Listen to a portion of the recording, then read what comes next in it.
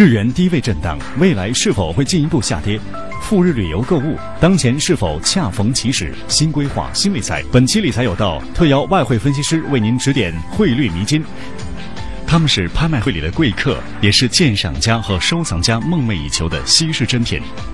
这就是珐琅表，是高级腕表中最为神秘和高贵的艺术。那么，究竟这是一门什么样的工艺？又该如何鉴赏？新品味，新理财，收藏投资，稍后带你欣赏珐琅表，神秘的手表绘画艺术。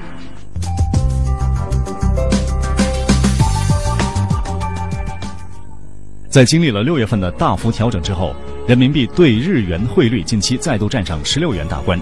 对此，不少准备赴日旅游的观众来电询问：日元未来会继续贬值还是重新升值？如果赴日旅游的话，是该马上去还是该再等等呢？对此，我们来听听空中理财师有何建议。那么未来呢？对于这个呃日元，我们这个长期的一个汇率呢，我们还是认为日元会继续的走低。嗯。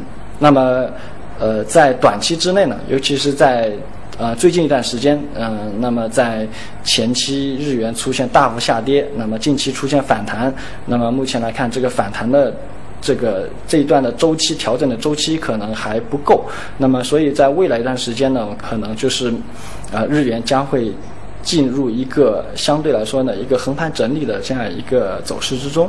空中理财师判断，短期内人民币对日元仍然会在十六元附近震荡盘整。长期来看，人民币对日元继续升值是大概率事件。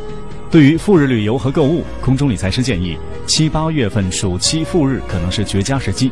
一方面，人民币对日元重回十六元以上，赴日旅游购物将变得更便宜；而另一方面，日元贬值造成的输入性通胀还未全面显现。因此，当前赴日正处于人民币购买力强，而日本物价又较便宜的阶段，相对来说最合算。同时，理财师也提醒，未来虽然人民币可能更强势，但安倍经济学带来的通胀也会推高日本国内物价，而且近期已经有不少跨国企业调高了其产品在日本的售价。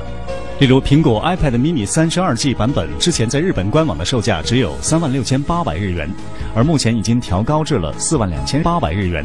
调高幅度达到百分之十四，不过这一价格仍然比国内官网售价三千二百八十八元要便宜百分之二十以上。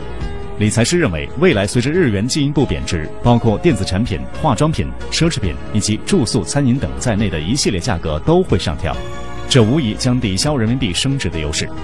最后，基于未来日元仍将贬值的预期，理财师建议赴日购物的旅行者可以多刷信用卡、借钱消费，回国之后再购买日元还款。这样，如果日元进一步贬值，消费者还能够进一步享受到汇率优惠，相当于为自己的赴日旅游打上了一个折上折。理财小课堂：正确选择双币信用卡。提到双币信用卡，很多人都会首先想到 Visa、万事达等发卡机构。但实际上，这两家机构主要发行的是美元双币卡。如果要赴日旅游的话，则最好办理日元双币卡，这样能够避免人民币、美元、日元三方兑换造成的汇兑损失。